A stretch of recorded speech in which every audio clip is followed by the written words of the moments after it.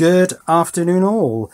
This is a little GU10 light bulb with a difference. Ooh.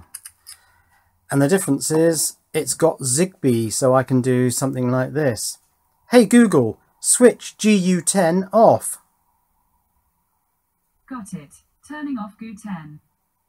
It calls it GU10 for some reason. Um, and I'm going to cut out the first two words because I don't want to keep triggering your assistant device, so uh, I'll edit this shot. Change GU10 to half brightness. Got it. Setting GU10 brightness to 50%. And then you can do colour things, if I can remember what the colours are. I think set GU10 to ivory. Alright, changing GU10 to ivory and ivory is the name it gives uh, cool white. It does have a cool white, but actually that's a mix of cool and warm. Uh, one of them is candlelight, I think. Let me try this. Set GU10 to candlelight. Sure. Changing GU10 to candlelight. Candlelight. candlelight. Um, I can't remember what the yellowest one is. I'll have to look it up in my tablet. Okay, yes, candlelight is the yellowest of all the colours. And ivory. Set GU10 to ivory. Okay, changing GU10 to ivory. Oh, I think it must have been on ivory. Uh, ivory is the coolest of the white colours. But that's not what this video is about. I'm going to take this apart and probably destroy it in the process. But first, switch GU10 off. Sure. Turning GU10 off. So this thing is uh, the Livarno Lux. Oh, that's interesting. This one isn't Silvercrest. No, this is Livarno Lux. I mean, it's all Lidl, part of this Lidl home series. And uh, you can do that thing. I won't say it. And uh, I got this one cheap. It's got the 30% off sticker, so I couldn't resist. And I thought, let's just take it apart in the name of science and hope that this video earns enough money to pay me back whatever it was that it cost. Oh, what was it? £6.59. Um, so I can't see any way into this other than through the front and there is a glued in because you can see the glue residue uh, front plastic face. It's lovely and warm this thing. That's really nice. Uh, okay, so let's try and dig this out with a knife. This could go horribly wrong. I'll do it off camera. So the inevitable happened and the tip of the knife just broke off in here, but I've managed to get a screwdriver in there and I've got the front off. There's the glue. Uh, okay, so, oh, that's interesting. What's that? Oh, that's the antenna. That's the aerial for the Zigbee. So what have we got in here? We've got uh, four uh, warm white LEDs and four cool white LEDs. This is a BP1638. I don't think I can get a reflection off the name there. But that's what it is. Has a couple of zero ohm resistors and some not zero ohm resistors. I can't quite see what they're doing. They go to... Oh, they seem to be in parallel actually and run into one of the pins of that chip. There's also a connector there. It looks like there are four pins coming up from some stuff underneath. So this front board should lift out, but I am having difficulty getting something behind it to lift it out. Let's have another go. The only reference I can find to the BP1638 is in Chinese and well it's an Alibaba page and I can't uh, get any uh, English data from that. You can imagine the heat is generated by the LEDs and to some extent the resistors. Actually, I'm not sure there are any resistors because these seem to be for setting some sort of parameter on here. So uh, there was some reference to this being a PWM chip, which makes perfect sense. Now the heat is going to be dispersed through this board, so I presume this is aluminium backed. And it does look, you can see some white compound here, it looks like it's glued down onto this sort of outer ring. So that's how the heat is got from this board and out to the outside body of this device. So if I lift this board out, I'm going to be breaching that um, heat transfer mechanism. Oh dear, while digging the uh, this plate out, I of course leant against the side and broke that off. Never mind, it might still work.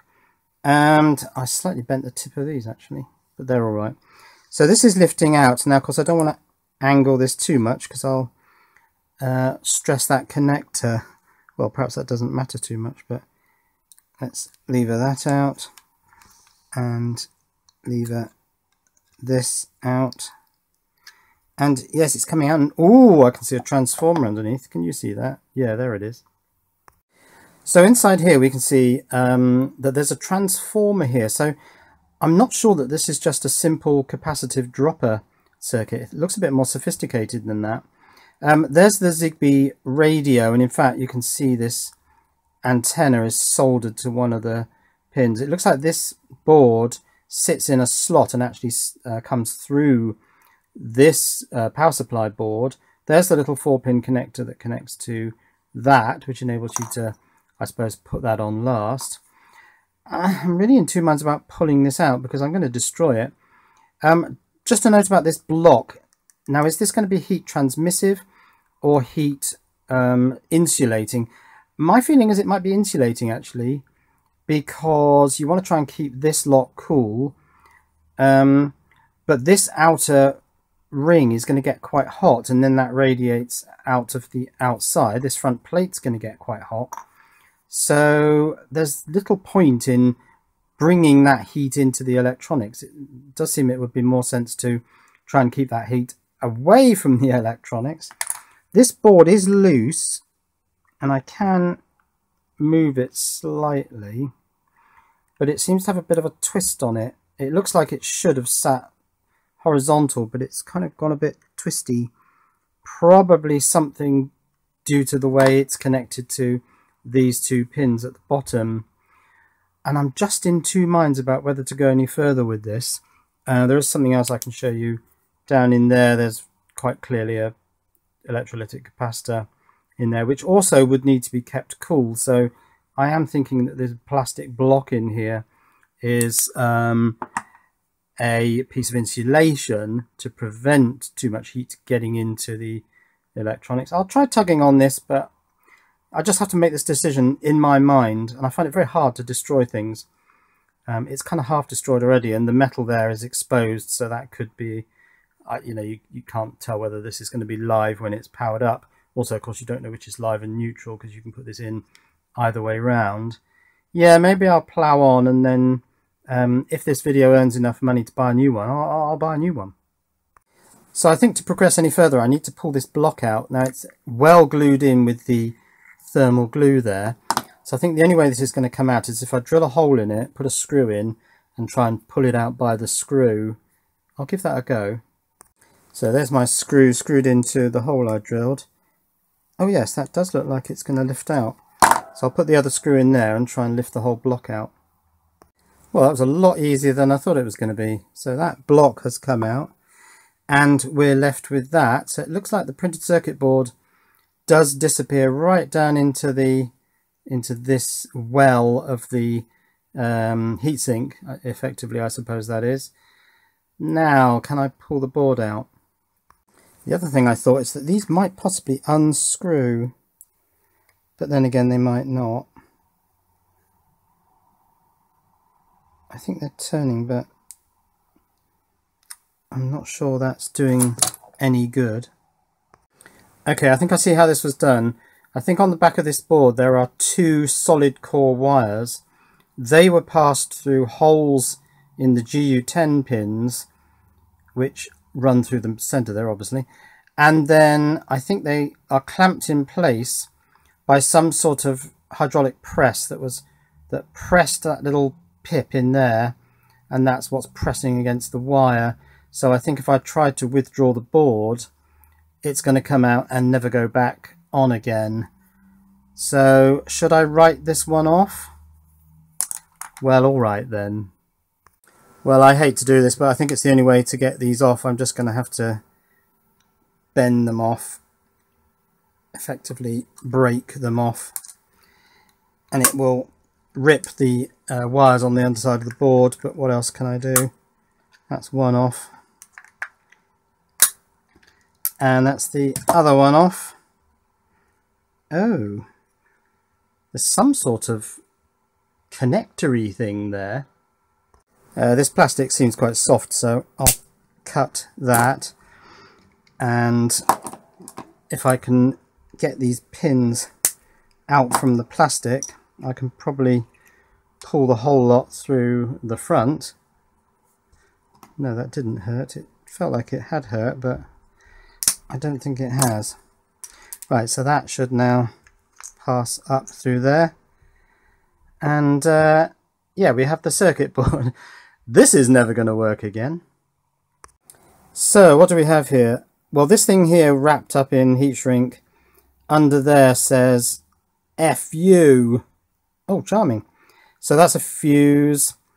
Um, so it looks to me like incoming AC goes through that fuse. Oh, where does that go? Uh, well, I think probably it goes to the bridge rectifier. Yes, that's got plus and minus on it, so that's a bridge rectifier. So we're rectified, first thing that happens. Then I'm guessing it's smoothed by these capacitors. So these should be high voltage. Yes, 400 volts. And that one, I assume, is the same. They're also, uh, oh, they're 130 degrees C. That's interesting, because yes, this thing would get quite hot in that enclosure. So yes, it's rectified, smoothed. There's an inductor there. Then there is um, a little four-pin chip here, and I'm assuming that's the, or what word could I use? It's like an agitator. It's an oscillator that chops up the DC and thus forces it through this transformer. And then on the uh, low voltage side, there presumably is a regulator somewhere. We've got a three pin device there. I'll try and get some numbers in a moment. Um, and then we need power for the Zigbee uh, thing here. Oh, does that give any secrets away? Probably not, because this is never going to work again. So the little Zigbee radio, and of course we need power for the LEDs. So that's done there. So I'll try and get some numbers off um, these two components to see whether this is a, a little switch mode uh, chip. That says Q1, so that's probably just a transistor. Let's do some close-ups. So the rectifier is a TL10P possibly, but it does have a plus and minus on the output. That um, switch mode chip is a I think it's a BP2522 and the transistor which may well be a MOSFET is a U. Oh, I can't read that. Let me have a quick look at it myself. Um, a U1SK I'll look those up. Well that device Q1 came up in one result as a 3.3 volt regulator which I guess makes sense because that's probably what the wireless module takes this one is almost certainly the switch mode. Um, just trying to think whether that's the switch mode controller. Where's the feedback for the uh, transformer based power supply? That's not an opto, is it? But it's a BP2522 and the chip on this front board was a BP something or other. Let me just check that. Yeah, BP1638. So they may be related in that they're both used for this sort of application. So I can't say exactly what that's doing because I can't get a datasheet for that either. But that's it. My guess is that that does run on 3.3. Um, as for the voltage going to the LEDs, that could well be, well, it, it's likely to be um, whatever sits across these diodes, these light emitting diodes and it's more that it's current controlled than it's any specific voltage. So that's my guess as to how that works. But this um, thing at the bottom here looks like it was quite a sort of nicely made right angled pin um, thing that sits on the board and then those right angle pins are guided in through these GU10 connectors when they were sitting in this plastic base they're not anymore. And then there's some sort of crimp process that um, clamps that onto there. But yes, that looks quite nicely made, not just a bog standard capacitive dropper, But these capacitors at 130 degrees, that's interesting. But then I guess this thing does get quite warm sitting in its tin can. And I think it was 5 watts this lamp is. Yeah, here we are, GU10. Um, it's rated for 100,000 100, on-offs. Now, to my mind, what that means is that every time you switch it on and off, it stores its current state in a chip somewhere.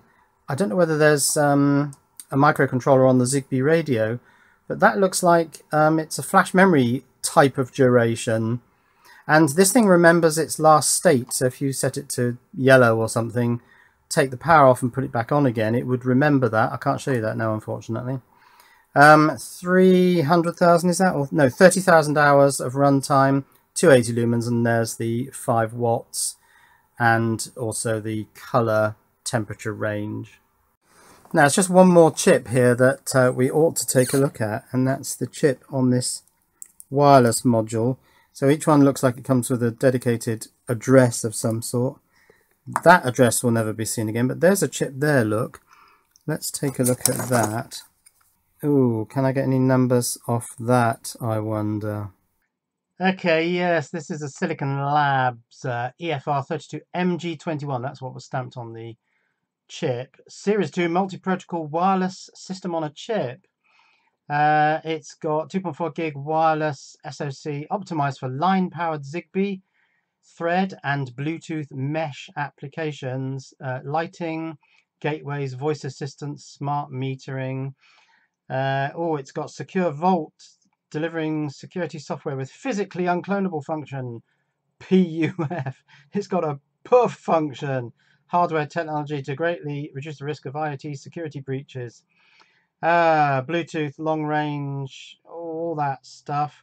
And down here, lots of things about ZigBee and Thread radio, QPSK, what's that, quadrature, something shift, phase shift keying oh, ARM Cortex M33 processor. I mean, just lots and lots of stuff. It's sad, isn't it, that you know such a powerful computer gets put in a bulb and then I break it for your fun, well, and mine. And so that's it. That's what's in a little smart GU10 bulb. Really condensed package. And I feel upset that I've broken it. I really do. I don't want to break things. I like things to work, and it worked really well. Oh, well, there you go. Cheerio.